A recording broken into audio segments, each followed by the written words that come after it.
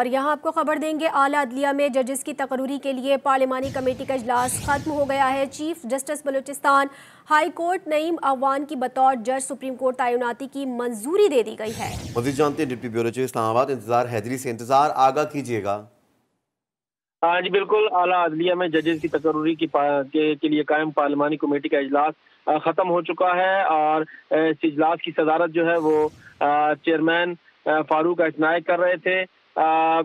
इस इजलास में आला अदलिया में जजेस की तकरूरी के लिए जो है वो मंजूरी दी है। कमेटी ने chief justice Balochistan high court, Naeem Afghan की बतौर जज सुप्रीम कोर्ट तैनाती की मंजूरी दी है। लाहौर हाई कोर्ट के सीनियर जज शहजाद अमन घेबा को chief justice Lahore high court तैनात करने की मंजूरी दी गई है। जस्टिस खादिम हुसैन को बतौर विफाकी शरह अदालत जज एक साल की तोसी दी गई है। अमीर मोहम्मद खान को तीन साल के लिए विफाकी शरह अदालत का जज लगाने की भी मंजूरी दी गई है। जी।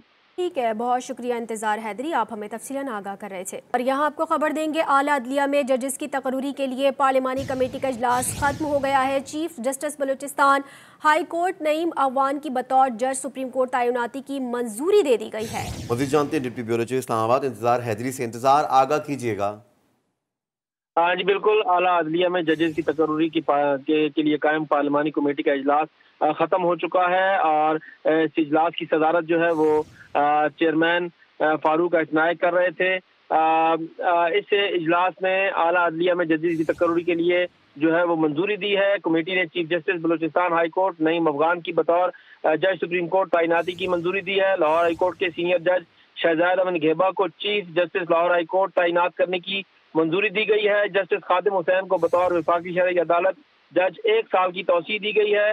अमीर मोहम्मद खान को तीन साल के लिए विफाकी शरह अदालत का जज लगाने की भी मंजूरी दी गई है। जी। ठीक है, बहुत शुक्रिया इंतज़ार हैदरी, आप हमें तफसीला आगाह कर रहे थे।